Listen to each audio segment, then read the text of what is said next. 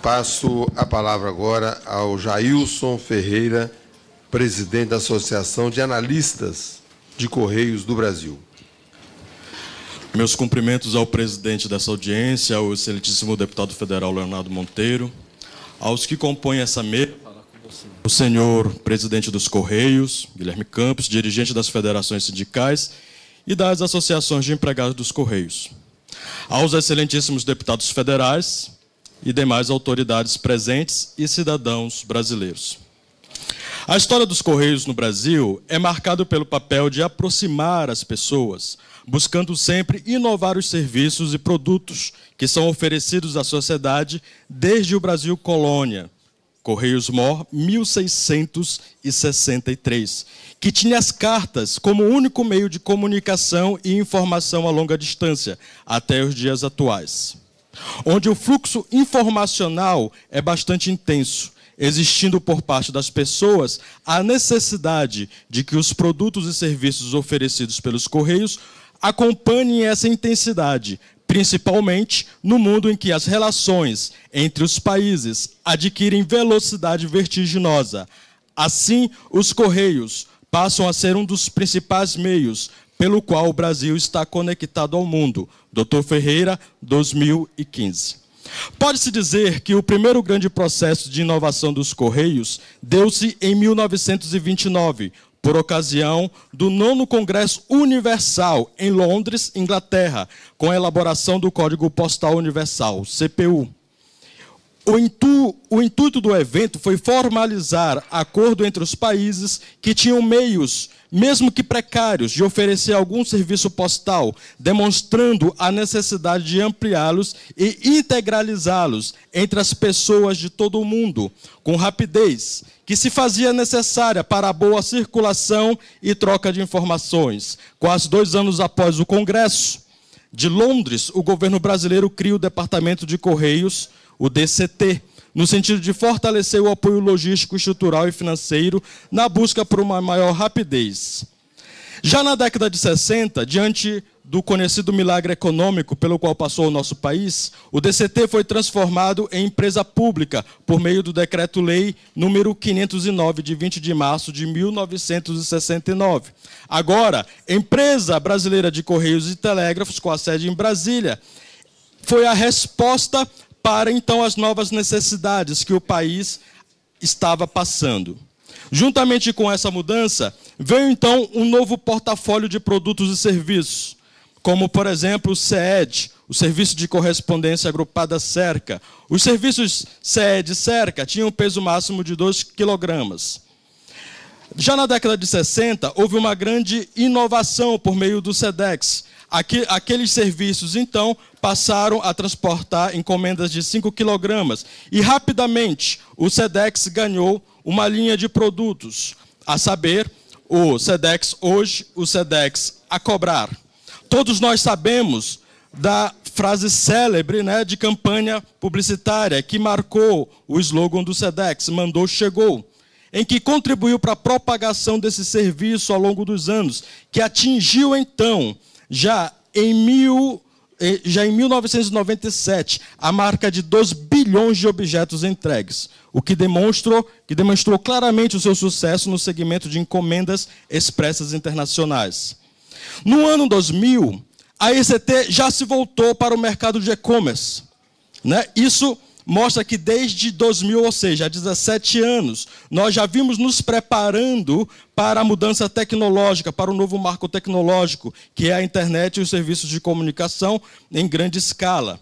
Em 2001, o Correio inicia, então, o SEDEX 10, e já em 2004, o SEDEX hoje. E logo em seguida veio o SEDEX Mundi. Em 2011, é aprovado no Legislativo a legislação número 12.490, em que a, a, empresa brasileira de Correios e Telégrafos passa, então, a poder atuar de forma internacional e, inclusive, criar subsidiárias, ou seja, um novo marco de, eh, de oportunidades de produtos e serviços para a empresa. Já no ano de 2013, novamente, o serviço de SEDEX cria o serviço SEDEX 12, que garante a entrega da encomenda até 12 horas da manhã. Vale lembrar que este portfólio de serviços rendeu à empresa uma receita de 5,2 bilhões de reais só nesse ano de 2013, dados do ECT 2013, dados oficiais da nossa empresa. Como estão os Correios na atualidade? Nós estamos preparados com o governo eletrônico, ou seja, automação da burocracia, foco na melhoria dos processos do órgão e da entidade, com o objetivo de melhorar a eficiência administrativa. Além disso, a empresa se capacitou com o governo digital, modernização da administração pública e na forma como os serviços são entregues ou ofertados à sociedade. Aqui o foco é no cidadão e o objetivo simplificar o acesso aos serviços, desburocratizar. Ao contrário do que por vezes é dito, nós queremos aqui observar sobre a ótica da tecnologia os correios.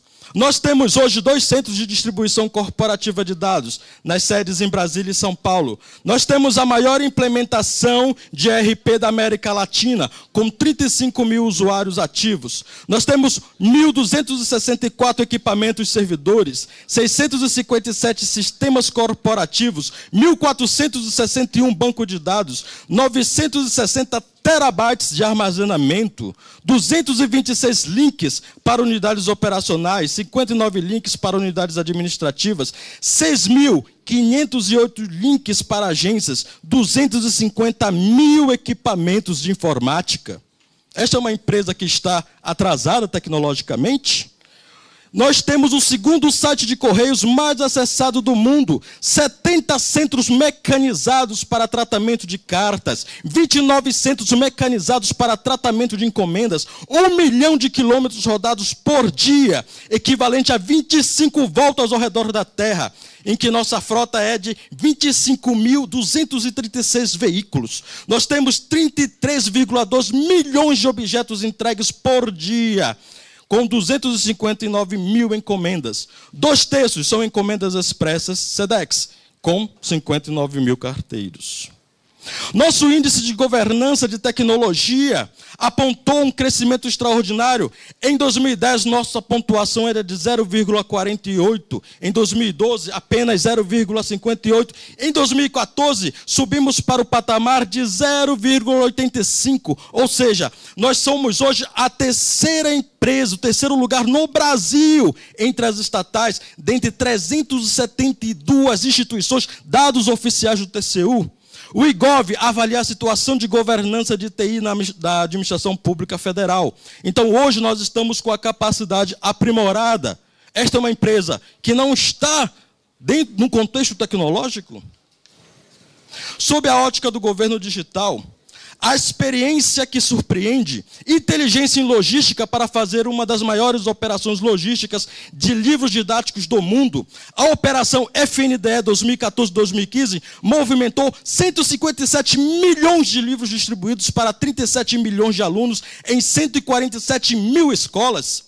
Operação 2016 da, da editora AJS foram 178 mil livros, 112 toneladas, 44.500 kits. Diga-me uma outra empresa que chega perto desses números. Pioneirismo que inova. Nas Olimpíadas, tivemos a inteligência em logística para ser a primeira empresa de correios do mundo a fazer a logística completa do maior evento esportivo do planeta. Para finalizar, eu irei fazer aqui algumas propostas que elencamos para o Congresso Nacional. Soluções.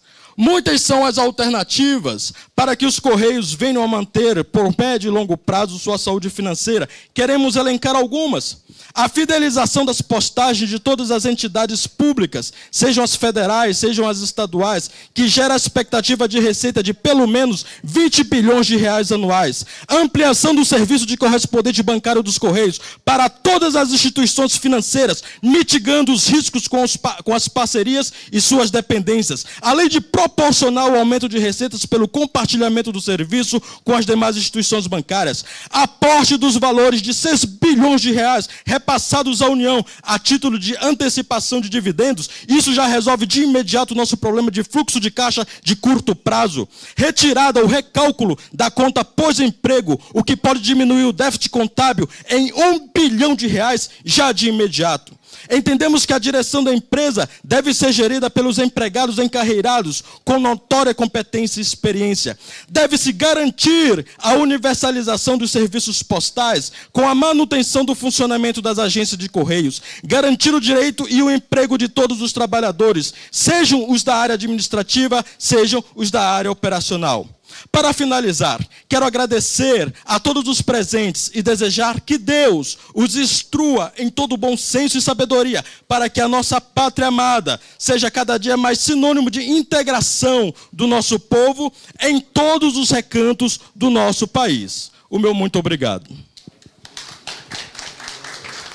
Muito obrigado, Jailson, pela participação.